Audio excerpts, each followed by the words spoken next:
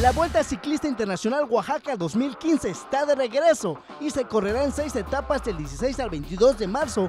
Así lo dieron a conocer de manera oficial autoridades estatales del deporte y el coordinador de dicha justa, Edgardo Hernández.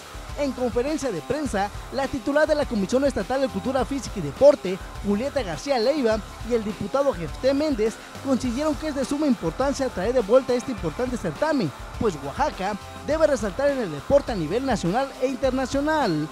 El coordinador de la Vuelta Ciclista, Edgardo Hernández, dijo que esta prueba cuenta con todos los requerimientos que pide la Federación Mexicana de Ciclismo, pues la realidad estará a cargo de la Policía Federal y Estatal. Asimismo, expresó que en caso de bloqueos en la capital oaxaqueña ya se tiene planeado rutas alternas. Pues ya estamos pensando en todo y pues ya tenemos dos circuitos en el caso de Oaxaca, ¿no? En el caso de otros municipios, pues ahí ya tendríamos que hacer variantes en el, en el transcurso de la competencia, pero en el caso principal de Oaxaca, que es donde se está dando la problemática este, más fuerte, pues ya tenemos ahí un par de circuitos en mente para que para pues, desviar la caravana y realizar nuestra competencia en esos lugares.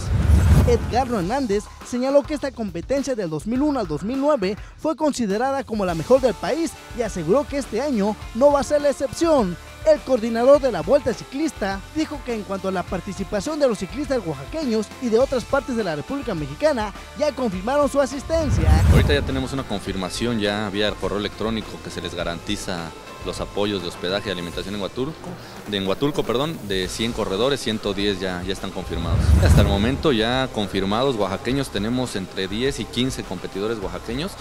Como lo sabemos, es una competencia de alto nivel o sea, pues yo soy ciclista y no, no me metería a participar en este evento en este año porque pues es una competencia donde viene lo mejor del ciclismo nacional e internacional, ¿por qué no decirlo?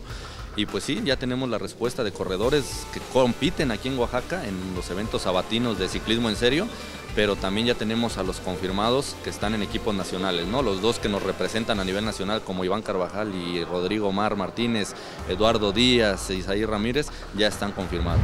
De esta manera, la primera etapa arrancará el 17 de marzo en Huatulco con un circuito de 100 kilómetros, la segunda comprende de Huatulco Tehuantepec, la tercera de Tehuantepec Salina Cruz, la cuarta Salina Cruz Juchitán, la quinta Totolapan Oaxaca, mientras que la última etapa se correrá en la capital oaxaqueña el 22 de marzo. Por último, Edgardo Hernández hizo la invitación a los amantes del pedal y la fibra para que se den cita en todas las etapas en las que correrán los participantes. Quiero invitar a la, a la, ciudadanía que se sume también en las calles el día del circuito en Oaxaca, en los diferentes municipios, que salgan, que aplaudan a los ciclistas y que nos apoyen, ¿por qué no? no? Con un poquito de conciencia ahí, de, de apoyo y cultura vial. Con imágenes de Alfredo Canseco, reportó para MBM Deportes, Alan Pacheco.